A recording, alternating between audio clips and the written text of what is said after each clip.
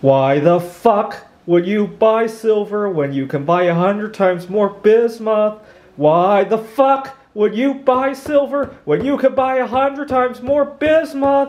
Why the fuck would you buy silver when you could buy a hundred times more bismuth? Why the fuck would you buy silver when you could buy a hundred times more bismuth?